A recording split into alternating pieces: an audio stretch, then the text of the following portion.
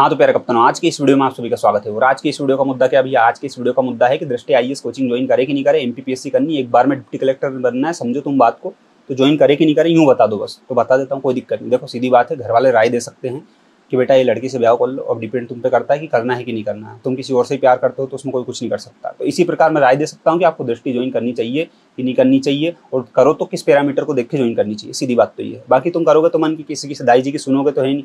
है ना? पढ़े लिखे में भले मन नहीं लग रहा, लेकिन बनेंगे कलेक्टर यार, बेटा पढ़ना पड़ेगा उसके लिए, समझा करो बात को जरा। खैर, छोड़ो। लेकिन हाँ दृष्टि के पहले एक मैटर सुन लो मेरी बात। अगर तुम में से कोई भी व्यक्ति एमपीपीएससी की तैयारी कर रहा है और इस बार वाला प्रीलिम से देगा नहीं भी दे तो भी कोई दिक्कत नहीं। तैयारी कर रहा ना, बहुत इतनी बड़ी बात। तो सीनू सिंह एप्लीकेशन डाउनलोड कर लो। एमपीपीएससी की सस्ती, सुंदर, एक नंबर शानदार विद करंट अफेयर्स के साथ बाई लैंग्वेज टेस्ट सीरीज़ मिल जाएगी। डाउनलोड करो डाउनलोड एप्लीकेशन करना। और उस पर टेस्ट लगा लो और अपने आपको परख लो, कितने पानी में हो, कितने पानी में नहीं हो। सस्ती, सुंदर, एक नंबर बहुत शानदार टेस्ट सीरीज़ है। ठीक है? अब मेन मुद्दे की बात, तुम्हारा दिमाग खराब होने भैया प्रमोशन कर लो बीच में, तुम हमको पहले दृष्टि बताओ। तो सुनो मेरी बात। दृष्टि कोचिंग है भैया। मैं तुमसे कह रहा हूँ ज्वाइन कर लो, कोई दिक्कत नहीं। लेकिन लेकिन वाला मैं तुमसे दो चीज़ हटाने का बोल रहा हूँ वहाँ से। दो चीज़ हटा दो। एक तो तुम्हारा जो प्यार, मोहब्बत, तुम्हारे को तुम्हारी गर्लफ्रेंड से ज़्यादा प्यार दिव्य दिव्यकृति सर से है ना, वो प्यार को थोड़ी देर के लिए साइड में कर दो। दिव्य दिव्यकृति सर से तुमको शकल दिखाने आएँगे या दो चार लेक्चर देने आएँगे। ऐसा नहीं कि वहाँ जैसे यूपीएससी का पूरा ताम झाम आम झाम सब छोड़ के, उनने का मेरे प्यारे बच्चों में तुमको पढ़ा दूँ एबीसीडी पढ़ा दूँ। ऐसा कुछ नहीं होगा आई बात समझ में? तुमको यहाँ दूसरी फैकल्टी ही पढ़ाएगी दिव्यकृति सर पढ़ाने नहीं आएँगे। तो उनके प्रति जो प्यार मोहब्बत है ना, वो रखो बिल्कुल, हृदय में सम्मान रखो, हमारे भी भी ऐसे नहीं है कि नहीं है, वो है। पर उसको थोड़ा साइड में रखो, ये सोच के पैसा मत दो कि दिव्यकृति सर के दे रहे हम दिव्यकृति सर ही सामने बैठ के पढ़ाएँगे, ला बेटा, बता, कहीं समझ भी नहीं आया। गलत फहमी में ऐसा तो नहीं होगा, ये तुमको पता तो दिव्यकृति सर का जो तुम उनकी फेस वैल्यू उनकी ब्रांड वैल्यू देख के जा रहे हो ना, उसको थोड़ा साइड में रख दो। दूसरा ये कि आजकल की औलाद हमको एक नशा पत्ता करता क्या बीड़ी पीते गांजा पीते क्या करते क्या उनको एक चोट रहता है, अंदर से ऐसा रहता कि दृष्टि में पढ़ रहा हूँ तो दृष्टि में पढ़ रहे क्या मार देगा कि जान से मार देगा हमको? ऐसा रहता उनका।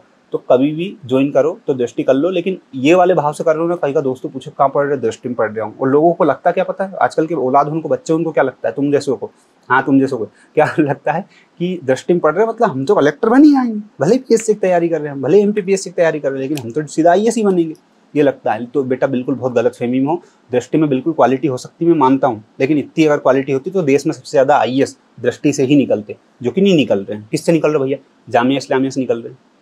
ठीक है? तो दृष्टि के ऊपर भी कोई है। उसके भी माए बाप हैं कोई, अगर देखा जाए एक्चुअल में तो।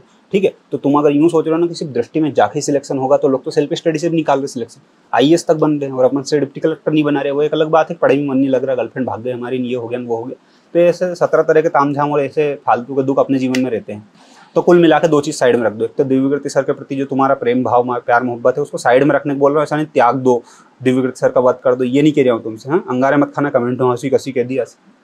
सुन लिया करो ढंग से। दिव्यकृति सर का प्यार मोहब्बत साइड में रखा। दूसरी चीज़ क्या करी अपन ने? दूसरी चीज़ जो चोड़ होती ना कि दोस्तों यारों को बताना कि दृष्टि में पढ़ता हूँ दृष्टि में पढ़ता हूँ मतलब मैं कलेक्टर बनने वाला हूँ यार, तेरे को क्या मालूम? तो ये चीज़, इन दो को साइड में रख दो। आई बात समझ में? अब डिसाइड कर लो कि दृष्टि में पढ़ना है कि नहीं पढ़ना है। तो दो चीज़ निकल के आई, पहली क्वालिटी क्वालिटी कैसी है, दूसरी फ़ीस तो फ़ीस की मैं बात करूँ तो मार्केट में जितनी भी कोचिंग हैं, उन सबसे ज़्यादा फ़ीस है दृष्टि की। रहती है, नहीं है तो थोड़े दिन में बढ़ जाएगी, उसमें क्या दिक्कत है? आई बात समझ में? शुरू में बेच बनाने के लिए कम रखनी पड़ती, बाद में बढ़ जाती है। तो फ़ीस बढ़ जाएगी तो फ़ीस में तो सबसे ऊपर है, महँगी सबसे महँगी, ये मानते हैं अपन। दूसरी बात, रही बात क्वालिटी की भैया तो एम की या यूपीएससी की एक ऐसी कोचिंग बता दो जो क्वालिटी नहीं देती एक बता दो तुमको सब देते हैं, सब देते हैं, आप सब, भैया, कैसी बातें कर रहे हो, सब देते हैं। तुमको जो दिखता है, तुमको रील में दिखता है, बस वही लगता है कि वही है, बाकी तो कुछ है ही नहीं दुनिया में। जहाँ में इसलिए तुमको दिखता नहीं है, इसलिए तुमको समझ भी नहीं आता कि सबसे ज़्यादा आई वहाँ से बनते हैं। दृष्टि दिखता तो ऐसा लगता है आई की फैक्ट्री तो यही है यहीं से बनते ऐसा होता वास्तविकता में तो फिर क्या ही बात थी, ऐसा नहीं है। तो कुल मिलाकर दो चीज़ निकल के आई अब कि भैया एक क्वालिटी और एक पैसा। तो पैसा सबसे ऊपर है, दृष्टि बहुत महँगी है। दूसरी बात क्वालिटी तो हर कोचिंग वाला क्वालिटी देता है, इसमें कोई शक नहीं है। जैसे मैं बोलता हूँ कि क्लास में सौ बच्चे सौ में से दो ढोर ऐसे रहेंगे जिनको समझ में नहीं आएगा। उनको दिव्य कृति सर बिल्कुल ऐसा हथेली बिठा समझा देख बेटा, देख, ए ऐसे लिखते हैं। तो भी उनको नहीं आएगा। रहते हैं, दो ऐसे रहेंगे ही रहेंगे, क्योंकि उनको खुजाल खुजाल में आई बनना रहता है। खुजाल खुजाल में उनको डिप्टी कलेक्टर बनना रहता है। उनको अंदर कोई पढ़ाई में मन लग नहीं रहा है, कुछ भी नहीं हो रहा, बस हमको। तो सौ में दो ऐसे रहेंगे ठूंढ जिनको समझ में नहीं आएगी चीज़ें। तो वो कोचिंग को बदनाम कर लेते हैं। तो ऐसा नहीं है कि कोई कोचिंग क्वालिटी देती। सब कोचिंग क्वालिटी देते हैं और दृष्टि भी देता है तगड़ी। पैसा, इतना पैसा लेके कहाँ जाएँगे? टीचर में ही लगाएँगे ना और क्वालिटी देते हैं। तो क्वालिटी के मामले में दृष्टि सही है, पैसे के मामले में सही है। अब तुम्हारे पास में, अब भैया तुम तो ये बताओ हमको ज्वाइन करे कि नहीं करे, मुद्दे की बात बता दो, फालतू बात मत करो। सुन लो मेरी बात। तुम्हारे पास अगर पैसा है इतना, एक लाख, डेढ़ लाख, दो लाख रुपये इतना पैसा है, ठीक है? और तुम्हारे इतना इतनी क्षमता भी कि हम पढ़ लेंगे, निकाल लेंगे। तो दृष्टि में चले जाओ। लेकिन इस माइंडसेट से मत जाना कि दृष्टि में जाऊँगा जब ही सिलेक्शन होएगा। क्योंकि वहाँ जाके अगर सिलेक्शन होता तो दृष्टि में लाखों बच्चे पढ़ रहे, लाखे के लाखे I S I P S और पता क्या क्या बन जाते। नहीं बात समझ में? तो लाखों बच्चे पढ़ रहे, लाखों नहीं बन रहे। उसमें से कुछ बन रहे जो तुमको दिख रहे हैं। आई बात समझ में? दृष्टि की एक चीज़ की क्वालिटी है। मैं मानता हूँ कि इंटरव्यू वगैरह जो होते हैं वहाँ के, जैसे इंटरव्यू जो आप यूट्यूब पर देखते हो तो अगर तुमको लगता है कि तुम खुद से निकाल सकते हो, किसी छोटी कोचिंग में जाकर निकाल सकते हो तो भाई निकाल लो ना। जब जिस चीज़ की ज़रूरत है, वहाँ चले जाना। मैं मानता हूँ दृष्टि के जो मौके इंटरव्यू तो तगड़े होते इंटरव्यू देने वहाँ चले जाना, उसमें क्या दिक्कत? इंटरव्यू के लिए तुमको मना नहीं कर दिव्य सर, दिव्यकृति सर खुद के देंगे, अरे बेटा, आना यार, बैठो ना, क्या दिक्कत? आई बात समझ में? तो मोबाइल इंटरव्यू देने वहाँ चले जाओ। वहाँ की क्वालिटी तगड़ी में मानता हूँ। लेकिन बाकी क्वालिटी तो तुम खुद भी इधर उधर से मैनेज कर सकते हो ना, उसके लिए दो लाख, तीन लाख रुपये देने की क्या ज़रूरत है?